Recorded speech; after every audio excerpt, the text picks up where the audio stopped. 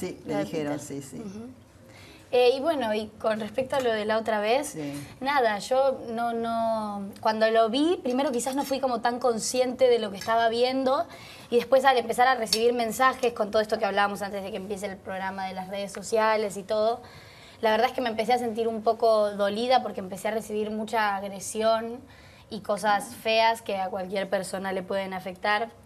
Y nada, y tengo 18 años y tengo las mismas inseguridades que tiene cualquier otra chica de 18 años.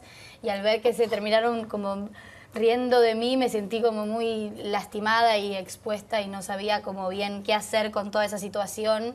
Y encima salí ahí a Showmatch, eh, ni sabiendo que me iban a preguntar, no sabía como la seriedad que había tomado el Pero vos asunto. haces unas previas fantásticas, ¿sí? que no todos los, eh, los participantes lo hacen. Es difícil Son difíciles eso, esas previas. ¿sí? tal vez es lo más Tenés que ser difícil, ¿no? ingenioso, Sí. gracioso, inteligente, Sí, con te- responderle al, al conductor, a. Marcelo Y aparte Hugo. ahí está justo antes de bailar. Y yo que no Qué soy miedo, bailarina, claro. nada. Terror. memorizar toda la Yo en ese momento estoy con todo en mi cabeza y soy una persona que me gusta estar en todo. Estoy como tratando de estar siempre pensando en la atenta. coreografía, sobre Entonces todo. estoy ahí, eh, mientras que estoy hablando con él y trato de mirar y ves que todos hacen caras y el jurado que va y hace caras y vos querés como prestar atención a toda esa situación, más hablar y aclarar lo que te pasa.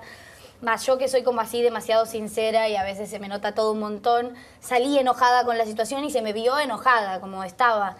Pero bueno, nada, un poco que después pasó el tiempo y las cosas, viste, que pasan y todo se diluye un poco y Mm. Sí, sí. ya todo se calmó un poco más. Tu papá dijo que yo debía haber intervenido. Yo cambié el tema. sal- Igual no salí- sé si mi papá dijo eso, viste que uno dice No sé. tomo agua y dicen toma agua y se derrite por él, es como todo. en un- internet lo leí en, en- en la computadora. Pero este, yo cambié el tema enseguida. Yo sí, yo vi igual que, Sí, que cambiaste sí, el tema porque se generó una situación que no está bueno porque, nada, porque es, es feo, hay como inseguridad, no sé, cuando se meten quizás con algo de uno tan, tan profundo, no sé, uno se siente como, esto es necesario Ay, horrible, que decirlo. se como- rían de uno, es Necesario no es. espantoso. Es triste, es feo, nada, no está bueno, nada.